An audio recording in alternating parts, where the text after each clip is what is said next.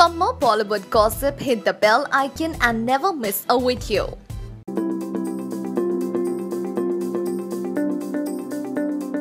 Salman Khan is quite actively involved in the production process of the film Loveratri. And that's not just because it's his fifth production venture. It is because this is the film with which his brother-in-law Aayush Sharma will be making his debut. And now we hear that Salman has also roped in his good friend Katrina Kaif to perform a special item number in the film.